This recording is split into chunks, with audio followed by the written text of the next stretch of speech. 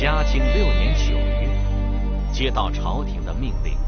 已在粤中居住了六年的王阳明远征广西的思恩与田州。在王阳明一生里的三次重大军事行动中，这次远征思田的二州之乱是最后一次，同时，这也是王阳明最后一次离开故乡。本来，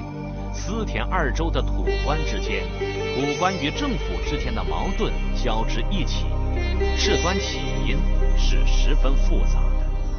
但王阳明到达之后，所谓二州之乱竟很快得到了平息，而且几乎没有使用一兵一卒。这一次，他用的是攻心的战术，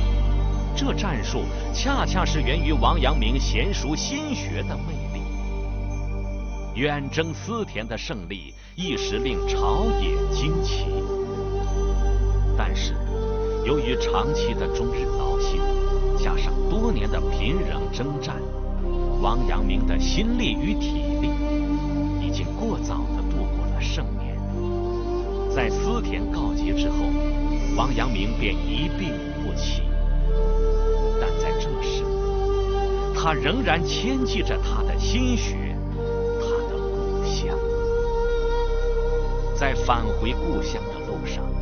嘉靖七年十一月二十九日，即公元一五二九年一月十日，王阳明在赣江上游的南安青龙铺与世长辞，终年五十七岁，并留下了“此心光明，亦复何言”。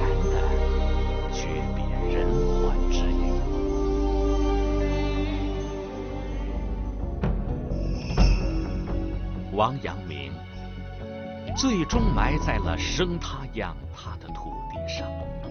苍松翠柏之下，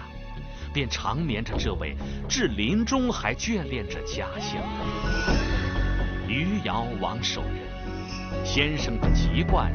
是余姚永远的光荣。在王阳明的人生旅途上，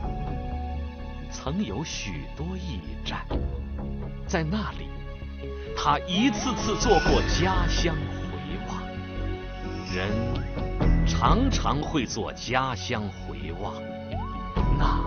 不过是在寻找出发的地方。